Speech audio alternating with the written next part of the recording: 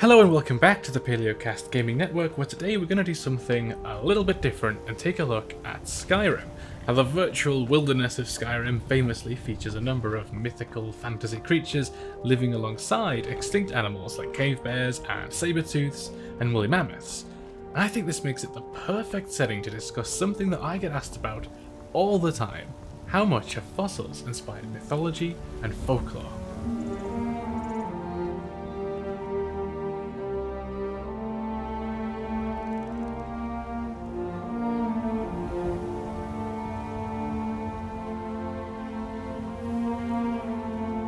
So interestingly, the majority of the mammoth herds you encounter in Skyrim are domesticated, which I don't think we've actually seen in any of the games we've previously looked at. You'll notice right away that they have four tusks instead of two. Not a complaint, I just I have to point it out, and I, I quite like it design-wise. And yeah, mammoths are super interesting because whilst the majority of them died out 10,000 years ago from habitat loss and human hunting, handful survived for like another 6,000 years on an isolated island off the coast of Siberia.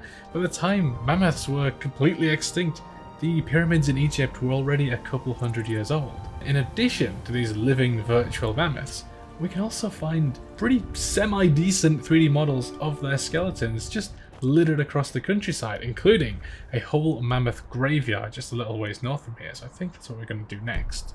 So this is, you know, it's kind of grim, but we've actually found mammoth fossils in these mass assemblages, just like this, all over the world, most famously the Berelekh mammoth graveyard in Siberia. Now sites like this are super debatable. Some people argue that mammoth graveyards form when rivers carrying deposit remains in the same place over time, whereas others argue that early humans may have regularly hunted and ambushed mammoths in the same area, resulting in their build-up as well. And there's, there's fairly decent evidence for both arguments. But you'll notice that the, the point I'm getting at here is that despite its name, this idea of an elephant graveyard, the notion that modern elephants instinctively return to the same place to die, that wasn't considered here, and it's never been proven or observed in nature at all. This is an example of where a myth has potentially been inspired by fossils, in this case, these mass assemblages we've been talking about. Now, very famously, it's been suggested since the 40s that the Cyclops was inspired by the discovery of fossil elephant skulls in ancient Greece, with people mistaking the very central nasal cavity for a single eye socket.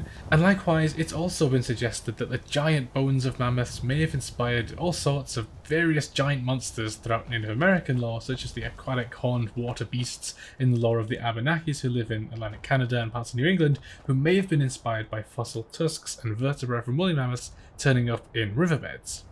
Stuff like this is lovely to think about, but unfortunately it's really difficult to prove. Personally, I think it comes down to the fact that there have been countless individuals around the world who were extremely familiar with the biology of the animals that lived in their time and place hundreds or even thousands of years ago. So the notion that they wouldn't recognize a fossil bone or even a fossil footprint as having once belonged to a now long gone creature it's just ridiculous. Of course they would. But whether or not mythic creatures were inspired by, or reinforced by, or even connected to these discoveries, it's a little bit more speculative. So with that in mind, rather than staying with this too long, we're going to jump from a real ancient animal that has potentially inspired myth to a fantasy creature that has been potentially inspired by the fossils of ancient animals. And in this game, there is a tendency for dragons to suddenly appear when you least want them to. I might be the first Skyrim player in history who genuinely wants a dragon to randomly turn up, and I guarantee you it's not going to happen. so, we're going to have to find somewhere where we're kind of guaranteed to meet them. Dragon Tooth Crater. Yeah, let's go there. I, I can hear it, but I have no idea where it is. Oh, oh shoot, there it is. Are you to come over here? That's super inconvenient of you. Ah, this would appear to be it. Oh! You spend all day waiting for a dragon and then two of them come at once. yes, alright, alright. Oh, Christ. Alright, one sec. Jesus. Alright, let's get this over with. See, the joy of this game is that once you actually defeat the dragons, yeah, you get the, you know, souls and whatnot, but you get to see their skeletons when you're done. and that's what we're trying to aim for here. Okay, I think if I press and pause, we're to die. Ah. Hey, who's this? Did you do this? Okay, attempt two. Da-da-dun, da-da-dun, da-da-dun,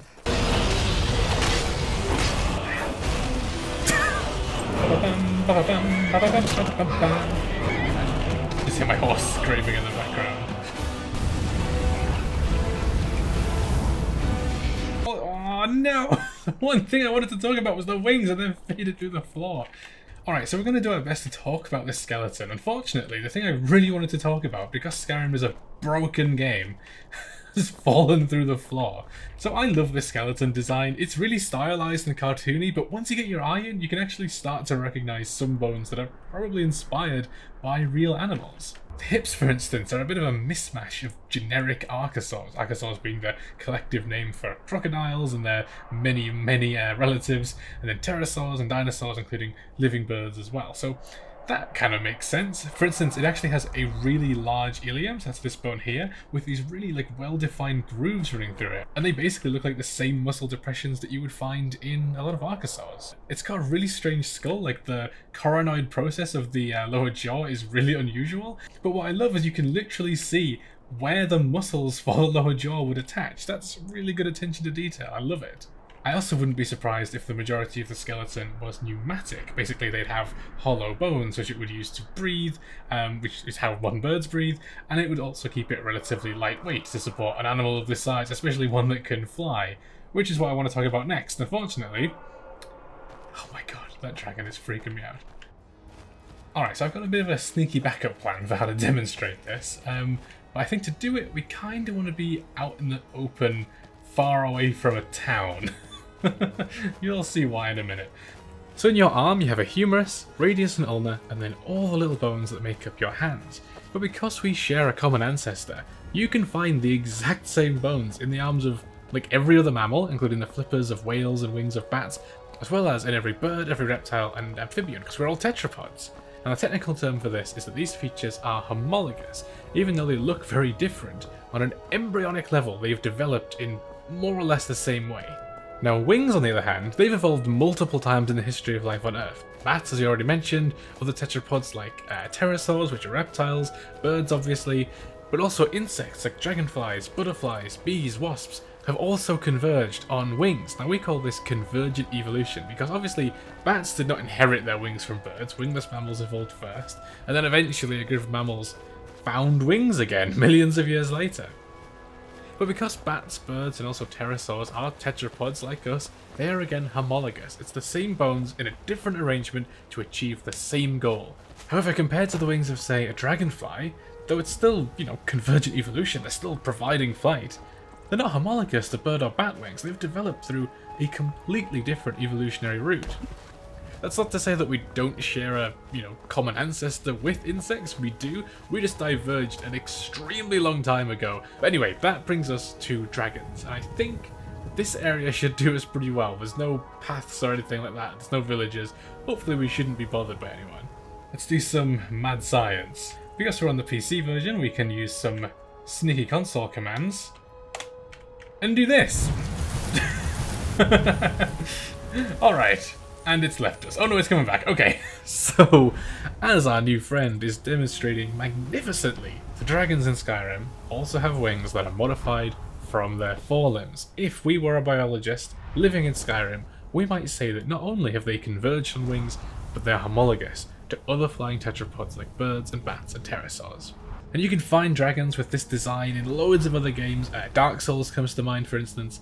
But in a game like um, Spyro or I guess the Dungeons Dragons Monster Manual, those dragons effectively have six limbs. They have their forelimbs, they have their hind limbs, and then a third set of like limbs, a set of wings on their back. This suggests to me that their wings must have evolved through a totally different route and are therefore not homologous to tetrapod wings. I hope that makes sense. I remember when I learned about this for the first time, we used like angel wings as like a reference, but I think this is a lot more um, a lot more fun. Anyway, looking at them up close, the dragon wings in this game definitely remind me most of the wings of bats, since they form a membrane over each digit.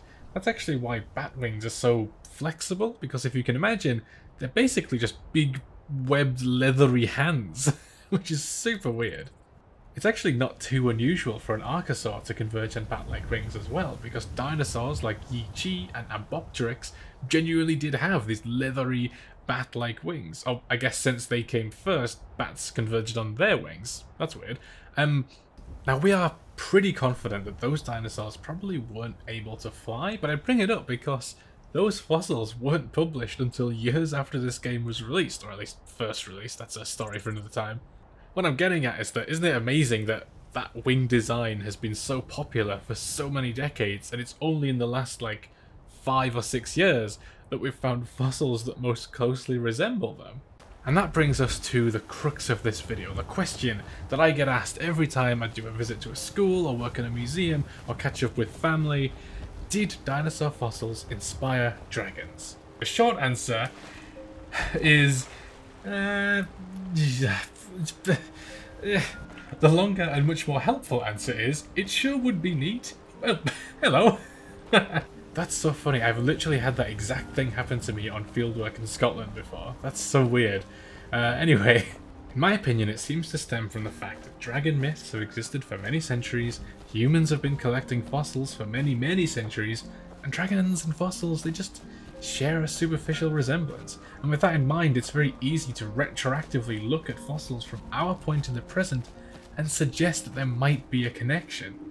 You might already know that in ancient China, early discoveries of dinosaurs and even mammal fossils were genuinely recorded and labelled as dragon bones. It's also been suggested that dinosaur fossil discoveries in ancient Rome and ancient Greece also coincide with early dragon myths as well. But on the other hand, in Scandinavian and Norse mythology, which is what Skyrim is really based on, dragons are very common, but dinosaur fossils are extremely rare in Scandinavia due to the aging composition of the rocks. It doesn't always line up so neatly. But then again, they don't necessarily have to be dinosaur fossils. So I grew up in County Durham in the northeast of England, and our local dragon myth is of the Lambton Worm, this huge eel-like dragon that coiled itself around a hill near Sunderland. And if I remember correctly, the story goes that if you were to cut the dragon in half, it would sort of reconstitute itself until uh, a brave knight chopped the worm into many pieces and chucked them in the River Wear, where they flowed downstream and the dragon was sort of unable to reform. Now County Durham is also built on a lot of carboniferous aged sediment. That's why there's so many coal mines where I grew up. And in the River Wear, which cuts through carboniferous sediment, you can find fossilized chunks of bark from extinct trees like Lepidodendron that actually kind of look like dragon scales. Now it would be amazing if all these things were to line up and I would love to tell you that that's how it all works, but we just can't know for certain. It's just a neat thing that we've noticed now looking back on our history. So, you know, there's a couple great examples. Oh god, Jesus. So, let me just deal with this. Yep, so there are saber-tooths in this game. We're going to try and stay on topic for now, but maybe I'll do another video in the future where we talk about all the other animals that live here, because I don't think we've talked about cave bears before, and that could be fun. Anyway, point I'm getting at is that it doesn't always line up so neatly. What are you? What are you doing? Aspiring mage. Oh, Hiya. hello there. Hello. Did notice you come up. See, my grandfather was a wizard. After that, I thought I was turning into a wizard too. Tell people about dragons.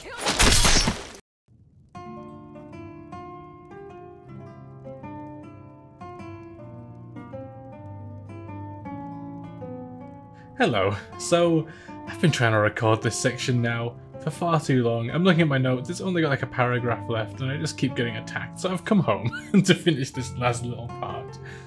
One of the main arguments I see is that a lot of sort of early depictions of dinosaurs look a lot like mythical creatures. That sort of reinforces the idea, but what you gotta remember is that early paleo art is in fact inspired by artwork of dragons, that sort of scary biblical artwork that came before it. And I think that's why we find the recent monsterification of ancient animals in recent video games so interesting, giving them these fantastical abilities or extra tusks or whatever it might be, and just putting them alongside fantasy creatures as well. We seem a little hell-bent on bringing dinosaurs more closer, sort of back to that mythic representation. And I often wonder, how does that change how people perceive ancient animals? This probably doesn't apply to our audience, but do the general public even see dinosaurs and other ancient animals as animals? Or do they just see them as monsters up there with dragons and trolls and whatever else it may be? I honestly don't know. I would love to know your thoughts though. By all means, Shoot off in the comments and let me know what you think. Thanks again for watching, and please do subscribe, and I will see you next time.